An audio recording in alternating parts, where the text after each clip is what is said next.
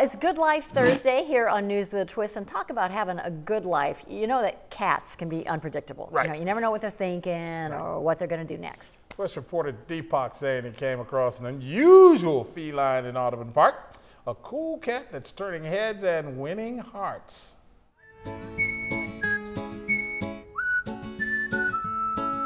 On any day in Audubon Park, you expect to see people running, kids in their strollers, people walking their dogs.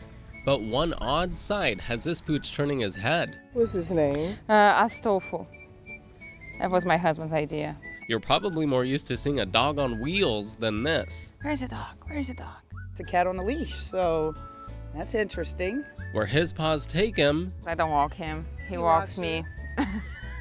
people pause in their tracks. He usually goes all the way almost to St. Charles. He really likes that sidewalk. Turns out cats aren't the only curious creatures. My cat, I think, would have a stroke if you put her on a leash. There's a cat on a leash. You see the cat over there? Yeah. Beatrice picked up Astolfo as a stray in Michigan. She wasn't gonna keep him until The day that I was actually driving him to the Humane Society, uh, my grandfather passed, and I was crying so much. And my husband was like, "No, we'll keep him." the typically outdoor cat had a lifestyle change when the family moved to New Orleans. When we moved to New Orleans, we were just concerned that it wasn't safe enough for him to be outside where he didn't know anything. So I occasionally take him to walks. Astolfo loves his outings, but he loves to taunt dogs even more. I think he likes to confront them. He thinks he has a chance.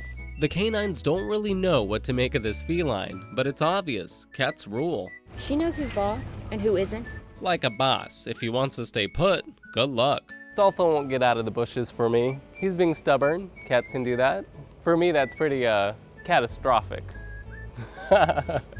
Running seems pretty catastrophic for Astolfo. He doesn't understand why people do it. It makes for one anxious cat. See runners. It's like wants to go behind you. You can't say this cat lacks personality. I'm really grateful. He is a big joy in our lives and a joy in other people's lives as well. A bond that's just perfect. Right, Astolfo. That's so cute. Yeah, here's an interesting fact. Some parishes in Louisiana actually have laws that require your cat to be either indoors or on a leash hmm. outdoors. But in Jefferson and Orleans parishes, your cat is not required to be on a leash outside. But I think it's a good idea to have the cat